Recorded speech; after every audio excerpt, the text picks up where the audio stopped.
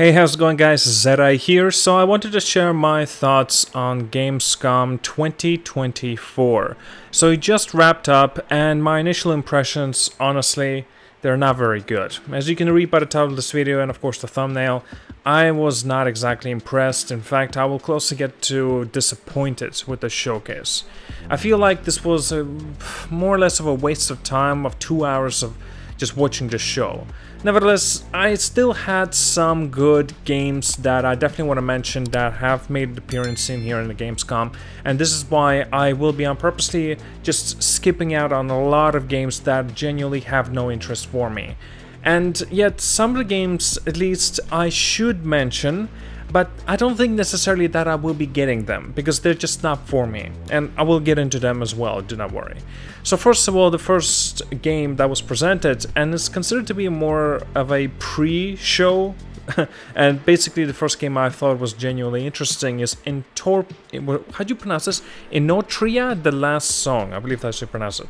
It's coming September the 19th, and the reason I'm also mentioning it in here is because this is a Souls-like experience. And the thing that why I'm also kind of confident with this title is because I actually have an had an opportunity of playing the demo, and I did. I played it, and it was really good. It was really nicely polished as well, and it's true and true in terms of being Souls-like type of an experience.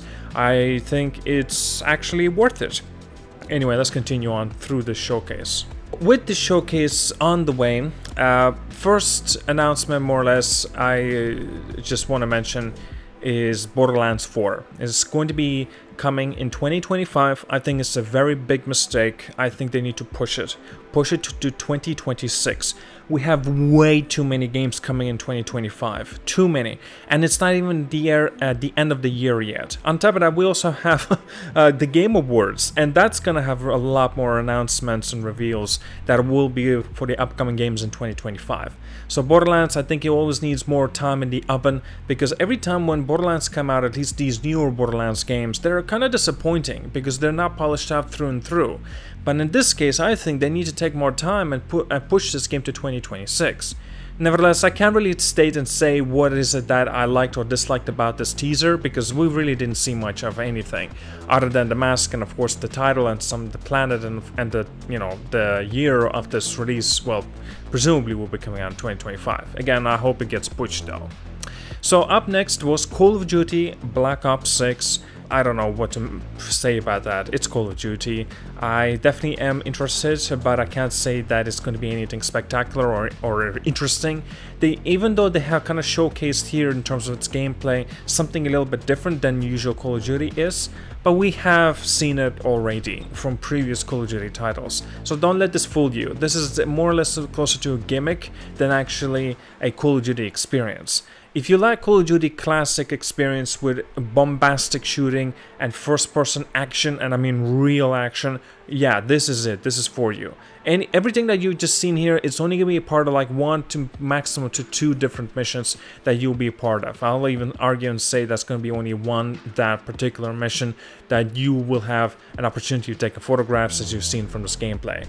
Nevertheless, it, just don't let it fool you. This is more or less of a gimmick. This is going to be a part of only one, like already mentioned, maximum two missions. And that's it. But it's not to say that's a bad thing because unfortunately Call of Duties are not known of having long campaigns. And how, how it has been going about it seems like it's going to be maybe four hours experience of campaign, but I'm still glad the way we still have a fantastic look towards the zombies of Call of Duty Black Ops 6. That looks phenomenal. And yeah, a lot of people are looking forward to multiplayer uh, part of the Call of Duty experience as well. Nevertheless, just wanted to mention here, I am looking, you know, I'm looking relatively forward to it, if that makes sense. I will mention this here, even though I have no interest in this. I'm talking about Goat Simulator, and this is a remaster from the, well, I believe it's from the first Goat Simulator. It looks whatever. It's not really for me. I've never played any Goat Simulator games, but I know they're a lot of fun. People say it's fantastic. You should do so, and perhaps in the future I will. It's not a game Persona 3 Reload. Unfortunately for me, it's, I'm not that interested. Uh, I like more closer to third-person perspective games, maybe first-person perspective games. This is not that, at least not for me. anyway, I'm moving on. So, Dying Light, The Beast, we actually knew that this will be, you know, getting revealed at the Gamescom because uh, Geoff Keighley uh, revealed this weird-looking teaser of a girl in the woods. She was with her boyfriend presumably and the boyfriend was you know the cameraman as well. And then one moment she's just getting attacked unknown things that's going on in the woods. And then after at the end of the scene basically she gets dragged or something. Just something really uh, weird happens honestly, looking at this, I'm still a little bit confused what the hell am I looking at, because I do know now that I read up a little bit more about this, because initially I thought it was almost going to be a brand new game. but no, it's not. It's more closer to The Following, if you guys know it. Uh, Dying Light had The Following, and this is basically a, an expansion, or like a standalone big experience that is even bigger than expansion uh, for Dying Light uh, game. But anyway, let's continue on. We're skipping quite a lot of games, but I want to get into a little game called Arc Raiders, and it's coming 2025. Playtest is actually going to be available this fall, and this trailer was shit. It was it was just shit. It was nothing. There was nothing shown here. Even though we did see back in 2021, I believe, uh, like snippets of gameplay, uh, what it actually had to introduce. But nevertheless, it's been already, what, two to three years since last time we've seen it. So, you know, we can't really take a lot from that from those old footages, from, old gameplay footages. In this case, uh, yeah, I don't know what to take out of this. Like, this just didn't convince me otherwise. But I wanted to mention in this uh, anyway and share my thoughts since Arc Raiders has been well, a lot of people have been anticipating for this release anyway. Skipping a few more games, I'm next going to Dune Awakening, and it's coming to PC early of 2025. And thankfully, they did confirm that PlayStation and Xbox release will be well will be announced sometime soon. Everything that they showcase here with a breakdown, what you can do within this game, looks really really good. I don't know how it will play out because a lot of times when the games are so ambitious, they never really work out, at least to some extent. In this case, I hope it will be something special because I'm keen. I'm very much interested in checking it out and I'm definitely giving it a go on my PlayStation 5 console and just to see what it's got in store or at least something different uh, comparing to older Dune games. At least this is a lot bigger experience. Uh, perhaps maybe pe people were not even experience like expecting to see something of this grand scale but yeah, I think this could be a treat. I think this could be something special. Alright, few games afterwards, well, at least one game afterwards. Uh, I have to... I don't know how I feel about this, honestly. Monster Hunter Wilds. so, Monster Hunter Wilds coming in 2025. We did know about that. We've seen trailers already. And the trailer that I showcased here, it looks fantastic. It looks like Monster Hunter game, as you would expect. Now, I have played Monster Hunter World and I have played a Monster Hunter I think it was called Iceborne, right? It basically, it's been a very long time ago since I played those two.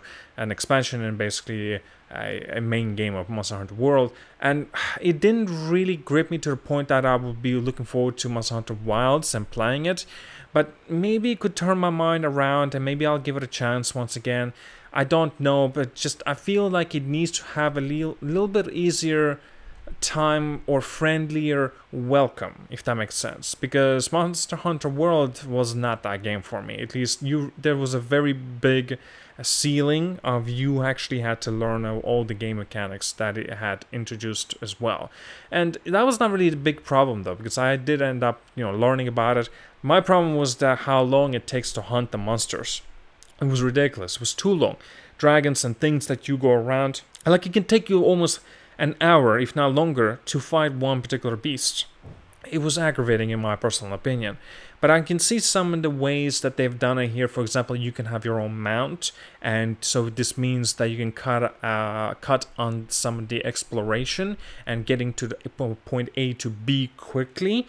This could be a way of actually telling me, okay, you don't have to waste too much time on going through the adventure while you're trying to kill this specific beast because he constantly keeps on running away from you. Anyway, that's just my little thoughts regarding Monster Hunter. I don't know yet. I think I'm keen on it, but again, I'm very cautiously optimistic. I'm sure it's going to be fantastic for people that love this sort of titles, but for me, I'm not there. I'm not there yet.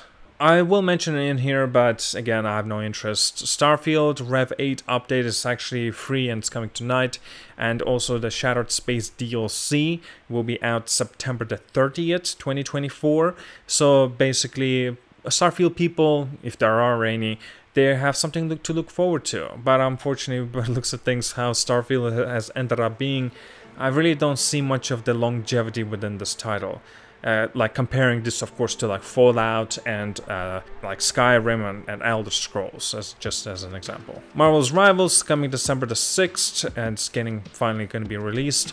But yeah, whatever, I'm not really interested. I just genuinely wanted to mention it in here because I know for a fact that a lot of people were interested in this title. Then we quickly get into, uh, I'm gonna skip a few games, but Batman Arkham Shadows, uh, just looking at this title just pisses me off more, knowing the fact what happened with Suicide Squad, uh, you know, the development team that made our Arkham games, and now looking at this, and it's a VR exclusive, this is just like literally spitting at you, like and the fans of the fan, like just who are fans of this like Arkham universe that style games, like Batman with Arkham, man.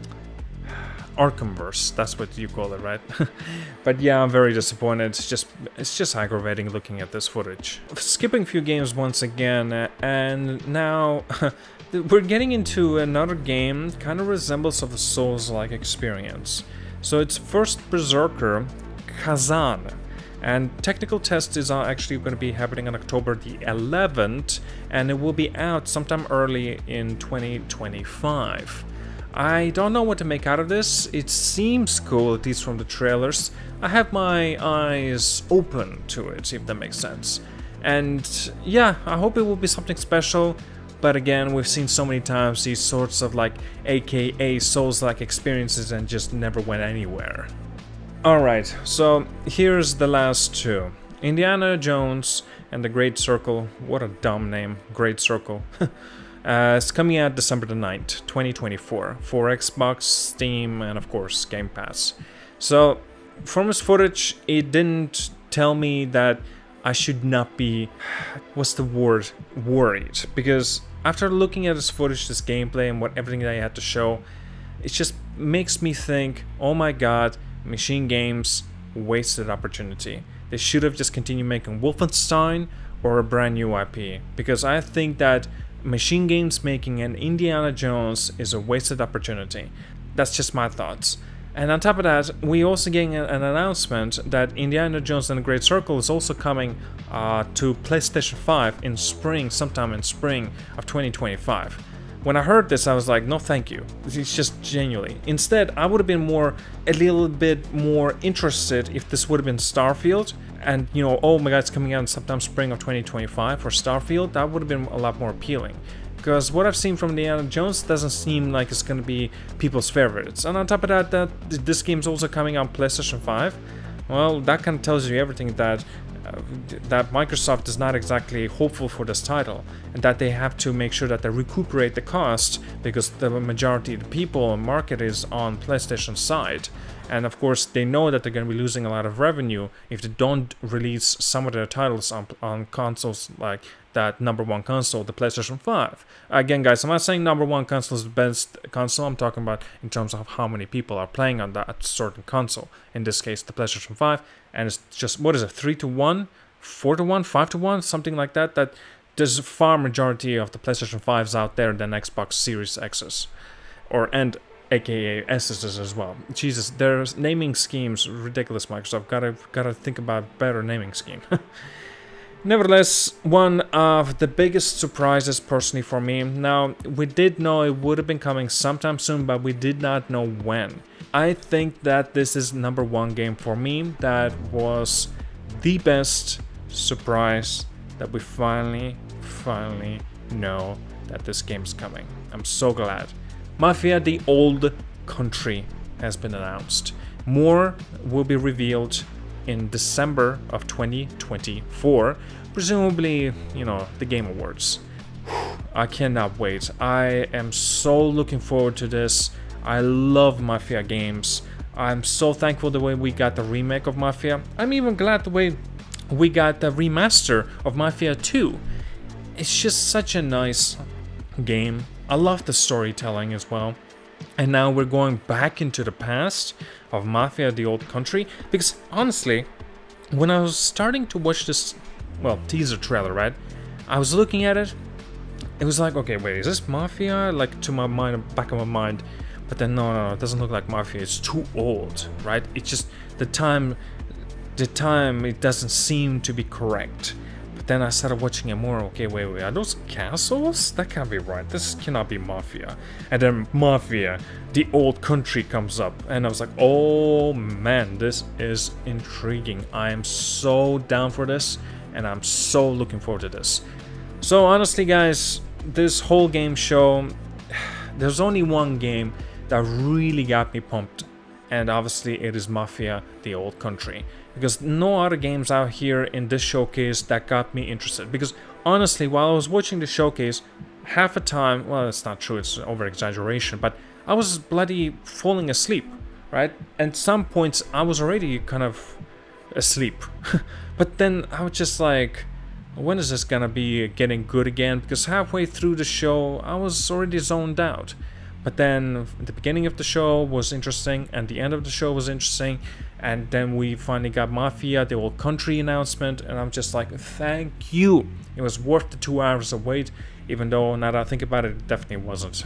because obviously, you know, I could have just seen this in the announcements and all over the other social media stuff. So you didn't really need to watch any showcase at all for this. Nevertheless, guys, that's all I wanted to mention for tonight. Tell me down in the comments as well, what did you think about the, you know, well, the Gamescom showcase for 2024? Honestly, my opinion, like I already mentioned, it's just a disappointment. anyway, thank you so much for watching, like and subscribe, and I'll see you guys all later.